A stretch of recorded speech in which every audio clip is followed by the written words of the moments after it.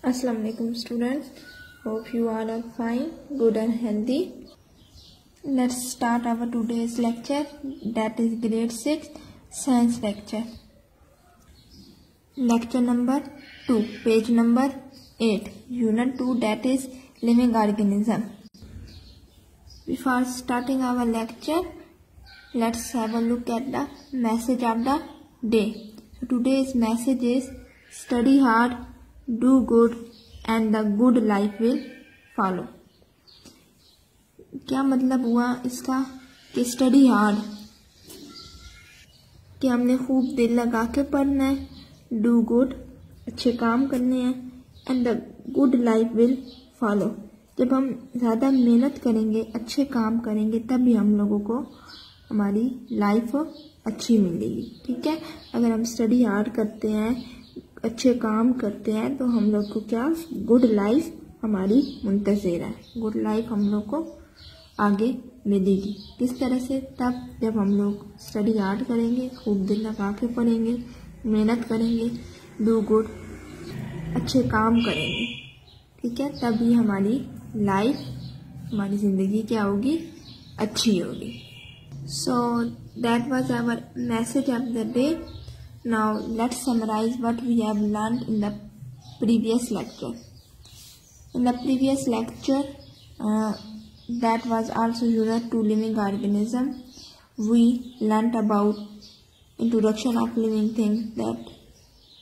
what are living things, who are living things, how they receive information from world around them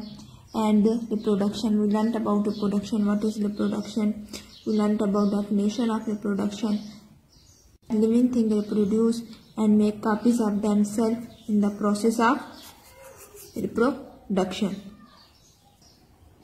So that was our message of the day and a short summarization of previous lecture. Now let's move to our today's lecture. This lecture is about cells.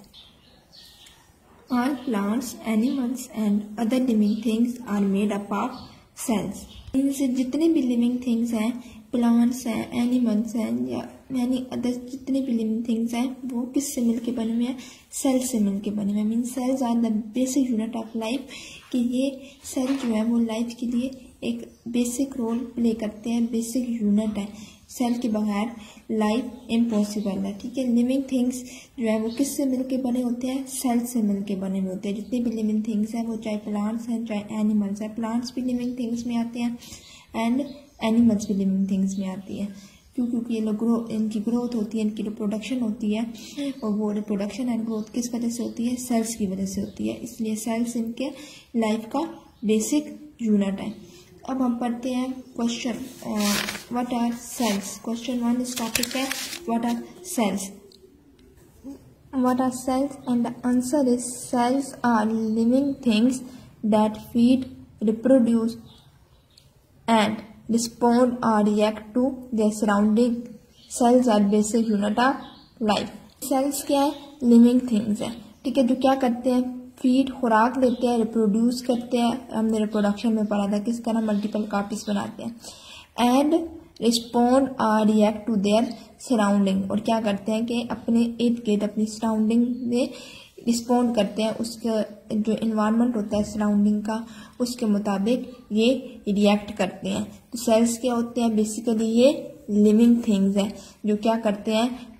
खुराक लेते हैं reproduction करते हैं या फिर अपनी surrounding से ये रिस्पॉन्ड या रिएक्ट करते हैं और cells are basic unit of life ये लाइफ का बेसिक यूनिट है इसके बगैर लाइफ इम्पॉसिबल है और that is the definition of cell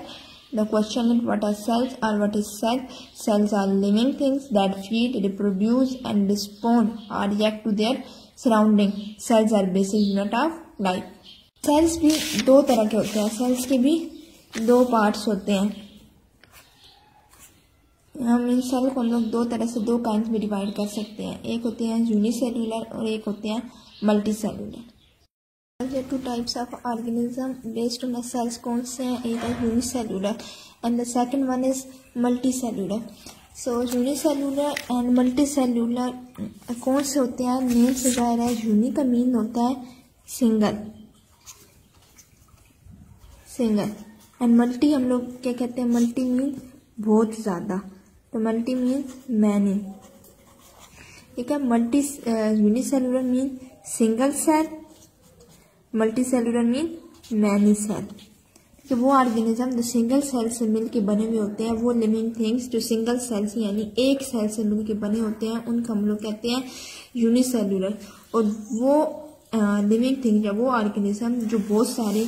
या मैनी सेल्स से मिलके बने होते हैं उनको हम लोग क्या कहते हैं मल्टी सेलुलर तो इसका क्वेश्चन क्या है write two types of organism the basis of cells cells की बेस पर ऑर्गेनिज्म की कौन सी दो टाइप्स हैं एक यूनिसेलुलर है और second one is multi cellular unicellular का जैसे मैंने आपको बताया कि यूनि का मतलब होता है single and cellular means cell uni mean single and cellular mean cell So some living things are made up of just one cell called unicellular. ठीक है वो लिविंग थिंग्स जो सिर्फ एक सेल से मिलके बने हुए होते हैं उनको हम लोग क्या कहते हैं ये यूनिसेलुलर है यूनिसेलुलर लिविंग थिंग है यूनिसेलुलर ऑर्गेनिज्म है ठीक है इसी तरह multi multi means many and cellular mean cell some living things are made up of millions of cells called multicellular organism mean millions of और uh, millions बहुत ज़्यादा हो गए वहाँ वन था जस्ट एंड यहाँ millions यानी बहुत ज़्यादा जो मिलियंस ऑफ सेल से मिलकर बने हुए होते हैं उनको हम लोग क्या कहते हैं मल्टी सेलुलर कहते हैं अब यूनिसेलुलर की एग्जांपल में क्या आता है सेलुलर की एग्जांपल हमें आता है amoeba yeast paramecium etcetera mean जो माइक्रो ऑर्गेनिजम्स होते हैं ज़्यादातर वो यूनिसेलुलर होते हैं सिंगल सेल ऑर्गेनिज्म होते हैं जैसे कि अमीबा है जीस्ट है ये क्या है ये यूनिसेलुलर ऑर्गेनिज्म है जबकि मल्टी सेलुलर मल्टी सेलुलर में ह्यूमन बीइंग जो हम इंसान हैं हम मल्टी सेलुलर हैं बहुत सारे सेल्स से बने हुए हैं like tissue cells muscle cells blood cells different cells से हम लोग जो ह्यूमन बींग्स हैं वो ह्यूमन बींग्स आर मेड सब are made up of millions of cells human being जो है वो मिलियन ऑफ सेल्स से मिलकर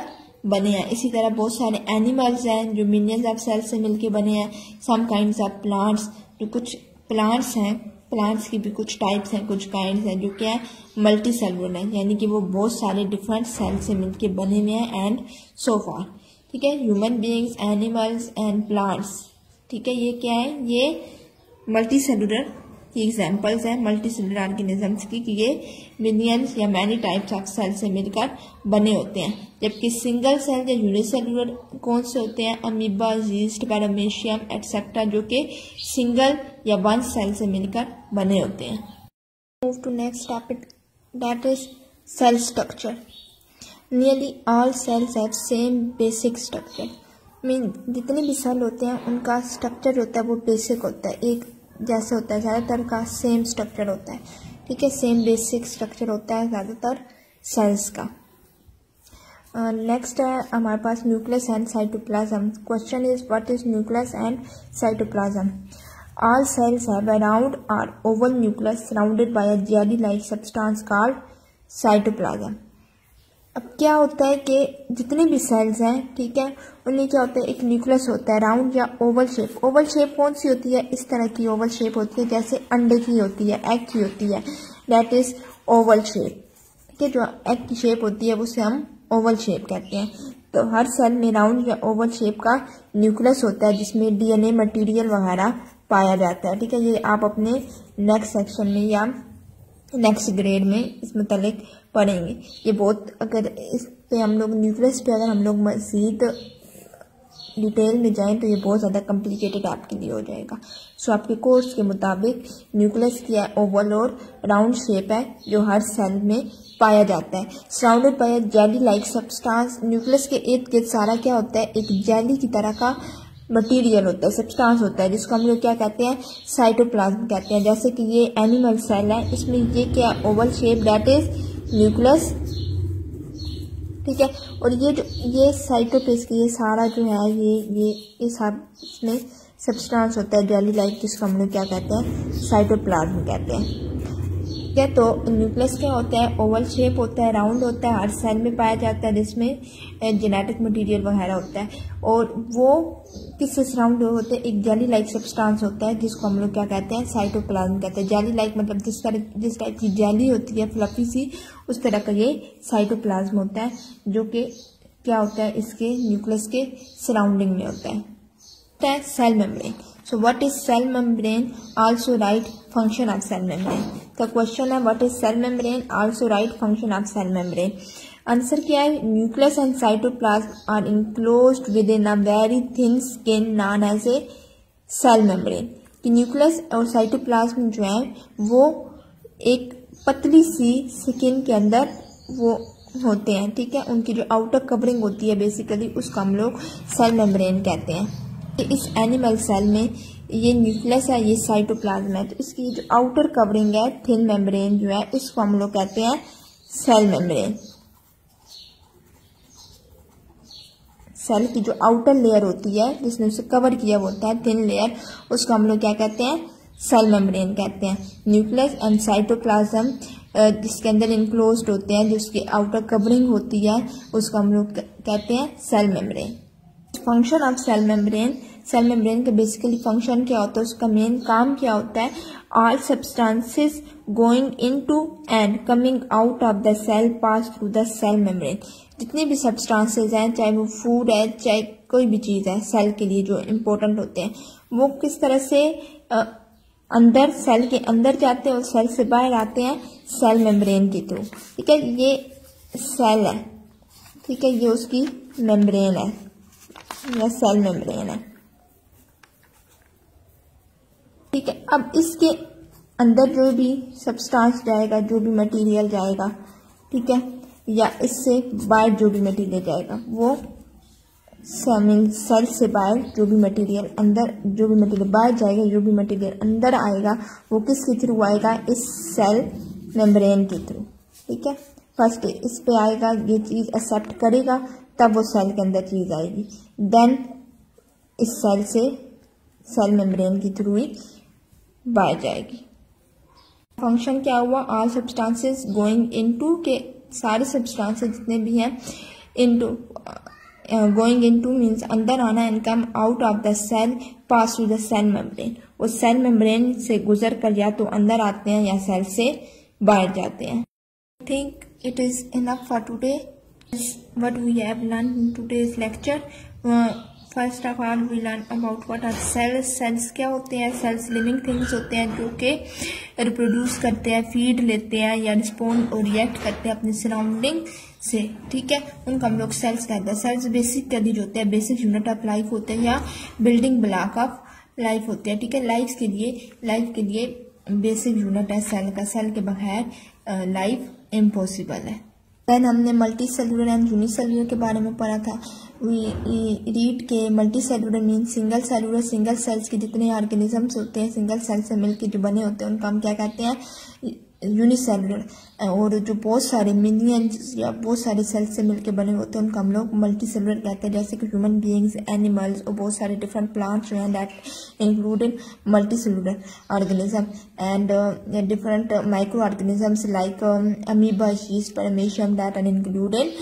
unicellular organism. We learn about cell that